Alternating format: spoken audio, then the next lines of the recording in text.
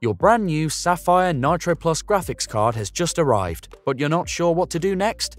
Don't worry, with this quick installation guide, you'll be gaming in no time. First off, let's get to unboxing.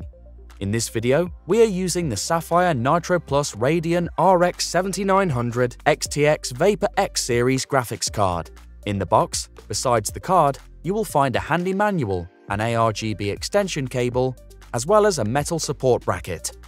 Before you install the card, make sure your PC is powered off and that its power cord is unplugged. At this point, you can plug the 5V ARGB cable into the card to later synchronize the card's ARGB features with your motherboard software. In order to install the card, you will need to free up the expansion slots at the back of your PC case. Then, plug your Nitro Plus RX 7900 XTX graphics card into the PCI Express X16 slot on your motherboard and align the card with the expansion slots. You should use the slots that are the closest to the CPU. To prevent the graphics card from sagging, you are also provided with a sturdy support bracket.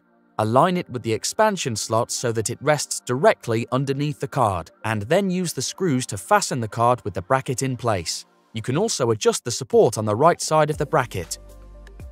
Connect the 5V ARGB cable to the 3-pin ARGB header on the motherboard. Finally, plug the three 8-pin power connectors from your power supply into the card. For this graphics card series, we recommend a minimum 800 watt power supply unit. Now take the cable from your monitor and plug it into one of the card's video outputs. In this case, you will need an HDMI or a DisplayPort cable. The Nitro Plus RX 7900 XTX graphics card has two ports for either. Just don't make the rookie mistake of plugging the video cable into the motherboard. Now it's time to reconnect the main power cord to your PC. And that's it!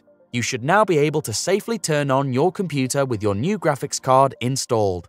Before you dive into your favorite games, don't forget to download and install the latest Radeon drivers and software from AMD's website.